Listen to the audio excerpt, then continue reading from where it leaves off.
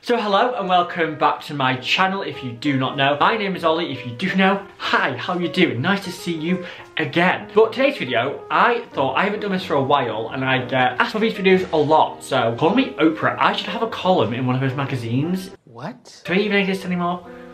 I don't know. I asked you over on my Instagram to send me some of your dilemmas, issues, queries, whatever it is that you may need advice for. I said send it my way and I will answer it as best I can. I don't know why I do these videos or why you guys ask for them because I am no advisor. Like, I am not qualified to do this at all. But with all that said, let's jump straight into the video.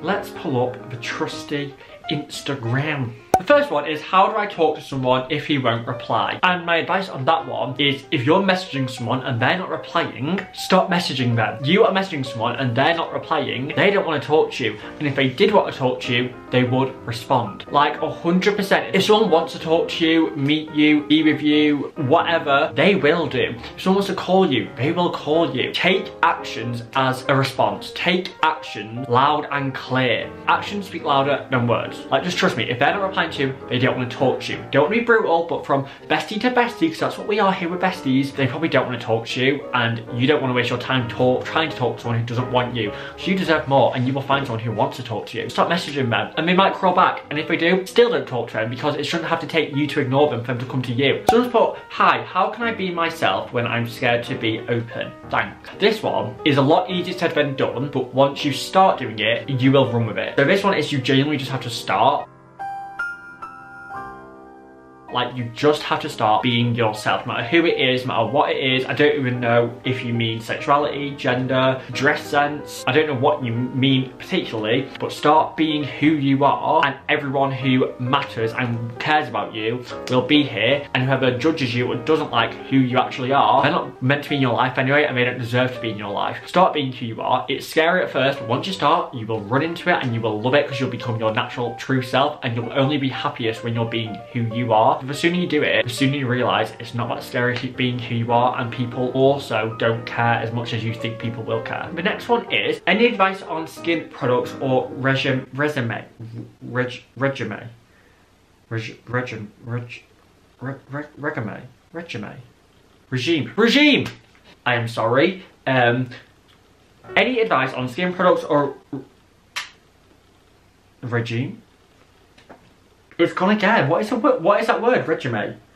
Regime. Any advice on skin products or regime? I hate my condition of skin and need change. First of all, stop saying the word hate. Stop talking about yourself and saying the word hate. Delete it. Remove that word. Only talk about yourself if it's love or like. Do not talk about yourself. Do not look in the mirror and say hate or dislike. Unless it's like, ooh, I dislike my outfit, I'll get changed. But if it's who you are, your body, your skin, don't hate or dislike anything. It's how you are. If you want to change it slightly, so if it's weight thing, then you want to lose weight, or if it's a muscle thing, you want to add a muscle or lose muscle or whatever it is, is, do that, but in a healthy way. Not because you hate it, but just because you want to enhance or improve it, if that's how you see it as. But first of all, my first advice is stop saying the word hate when it's about yourself, because the way you talk to yourself and about yourself reflects on who you are. Only speak about loving yourself and you will genuinely love yourself. Any advice on skin products? So I, skin, skin products is something which I don't ever love giving advice on because you can have oily skin, dry skin, combination skin, what other skin types there are, I don't know. So for me personally, I have dry skin. Well, I have combination skin, more dry though, but my skin gets quite dry. My skin doesn't have the oil in it to make spots,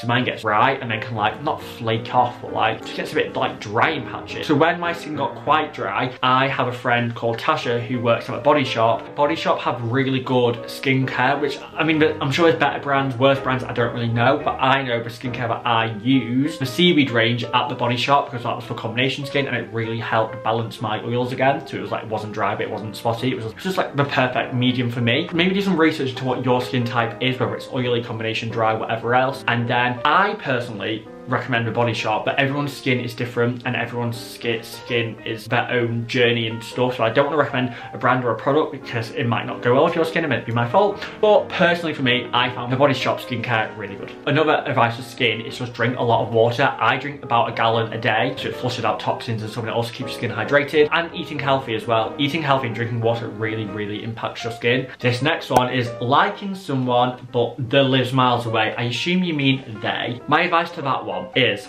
if it's worth, if you think it's gonna be worth it, if you think something could change, like where you live, or if you get a job opportunity and you might be moving closer, my advice is stick with it and you never know what could happen. If you don't think it's worth it, stop talking to them. Um, I'm sure they might not like that, but stop talking to them and stop now before feelings get too deep. But if you think it's worth it and you think there's a chance where you could geographically live closer, wait it out is my advice. Oh, this one I love. I want to go to the cinema on my own, but I'm scared of being judged. You might not all know, but some of you might know, but I go to the cinema regularly by myself. At the cinema I, itself, no one judges you. No one even looks at you. No one even cares. No one really knows you're on your own. They just think you've turned up on your own. You might be meeting someone. People at the cinema don't care at all. I found it's only when you mention to someone you were at the cinema on your own that that's when they're like, oh my gosh, like they like react to that. So for you, your advice is if you want to go to the cinema or whatever by yourself, just do it because once you're there, you'll realize no one cares. No one's looking at you. No one is noticing that you're on your own. Like for all they know, your friend's in the toilet, your friend's not arrived yet, whatever, like, just trust me, go on your own and you'll realise no one cares. And even when you're sat in the seat at the cinema, your friend could be at the toilet, like, no one thinks about it. Like, I've never walked in the cinema and looked at everyone and be like, oh, I wonder who they're with, I wonder if they're on their own. Like, if you don't look at someone and think, oh, they're on their own, no one's gonna look at you and think that.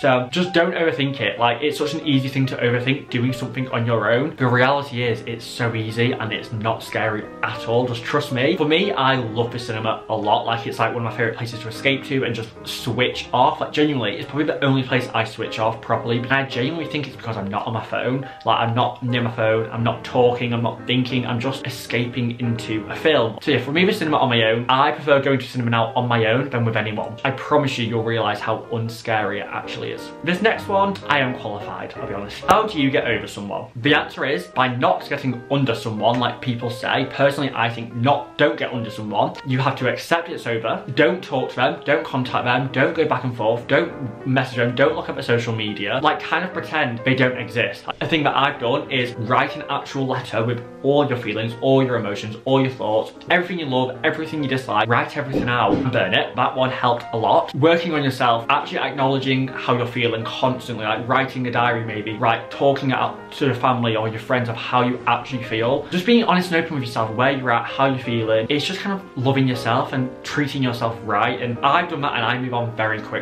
I also try and take out like the human side of it as well. So it's like, okay, so we were together, now we're not. It's not that deep. Like we were, we're not. Life moves on. Do you know what I mean? I think you have to know about that. Life's gonna move on. You're gonna meet someone new. They're gonna meet someone new. That's fine. It's life. Like it's normal and it doesn't have to be that deep or emotional. That's how I found it and that's what's always helped me. And just like, that was a chapter of your life. And now you're moving on to the next chapter, which is gonna be more exciting, more new, more new characters are coming into the storyline. Do you know what I mean? Also, I trust the process and I trust the universe and I trust that what's meant to be in my life will be in my life and what's not and what gets removed is meant to. So let what's meant to be be. Like don't try and stop the course of nature or whatever it is. Like that sounds really cringy. But just trust it and go for flow and don't even look back. Like don't go back to an ex. I mean this isn't in all circumstances ever obviously. In all the cases that I've been of friends, myself, everything, don't go back to an ex. An ex is an ex for a reason and it didn't work because of a reason and fundamentally that reason if you get back probably still be there and I think once you realise that or and if you can relate that to yourself it's like well I'm never going to go back there because I know it'll come back to this so you're like well bye. That's my advice on moving on. Okay, so the final one which I'm going to answer, I have a feeling that I'll never succeed and never get the job I want. I don't know why, lol, laughing base, I love you, love heart. First of all, I love you too. Second of all, see, I don't know if everyone's into manifestation or the law of attraction, law of assumption, all of that, but you have to talk to yourself, plant the seed into the universe that you will succeed and you will get the job that you want because why not? Like, look at, say, like Harry Styles, his dream was to be a singer and he's a singer. He got his, like, dream job. So why are you any different to that? Like whatever your dream job is, you can get there, you can attain it, you can achieve it, you can work for it. Like no matter what it is you want, you can go for it. You just have to believe it. And you, the camera actually flashing, so I'm going to really wrap it up. What it is that you want, you can get it. You just have to work for it. You have to put in the time, and it's just believing you can and knowing you can, and then you kind of will. Like it's like a fake it till you make it kind of thing. Obviously with jobs, it's hard because you need to be hired or whatever else. But trust me, if you want something bad enough, you can get it, and it's just about putting in the time and the effort and the work, and you will get there. Trust me. But apart from that, that is all that I'm going to answer today. I hope it really helped you. If I answered any of yours or it helped you or you want another part, smash a like button and subscribe to the channel down below so you don't miss another video from me. And I will see you very soon with another video. Thank you.